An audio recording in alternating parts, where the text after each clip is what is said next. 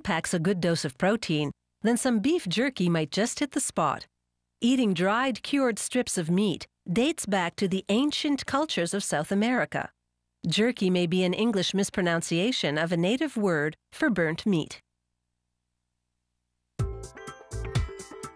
Beef jerky is no longer a means of subsistence, but rather a popular snack food that comes in a variety of flavors. This premium brand is handcrafted in small batches. The process starts with beef rounds, a lean cut from the muscular hindquarter of the cow. There's just a bit of fat, enough to give the meat good flavor. Workers put the beef rounds through a slicer, which cuts them into thin strips of identical width so that the jerky pieces come out as uniform as possible. The direction in which the slicer cuts as well as the thickness of the slices, 5 millimeters, are calculated to maximize flavor and tenderness. The next step, marinating, will further tenderize the meat. Many large producers inject the marinade prior to slicing. This company marinates after slicing, so that the marinade is sure to tenderize and flavor every single slice of beef. After loading a small batch of meat into a rotating drum, workers add the marinade ingredients, a secret recipe consisting of both dry and liquid seasonings.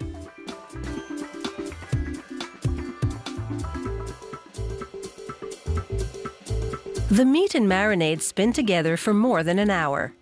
By the time the strips come out of the drum, they're drenched in marinade. After marinating for another 24 hours, they're ready to go into the smokehouse. Workers lay the marinated beef strips on stainless steel rods. They space them well apart to enable the hot air to penetrate each and every one from all angles. Once they fill a rod, they hang it on a rolling rack. A rack holds 100 rods, roughly 110 kilograms of beef strips. Each rack goes into its own individual smokehouse, inside which two simultaneous processes occur. Water soaked hardwood chips burn, slow smoking the meat. The jerky also cooks slowly at low heat, no higher than 82 degrees Celsius, to maximize the flavor. The variety of beef jerky dictates the type of hardwood they use. For sweeter flavors, such as honey barbecue or teriyaki, they smoke with hickory or applewood. Whereas for more savory or spicy flavors, they use mesquite wood. Over the course of five to seven hours in the smokehouse, the circulated warm air gradually dries out and cures the meat, and the smoke from the wood infuses it. Quality control technicians take samples from each fully smoked batch and measure the thickness to make sure it's the required 3 to 4 millimeters. After workers cut the strips to between 6 and 8 centimeters long, the jerky enters an automated scale, which weighs out the quantity per package. Meanwhile, an automated packaging machine heat seals the bottom and sides of printed plastic film, forming a pouch. Then inserts a resealable zipper and prints on the lot number and best buy date. The machine then cuts apart each individual pouch and flushes the inside with nitrogen.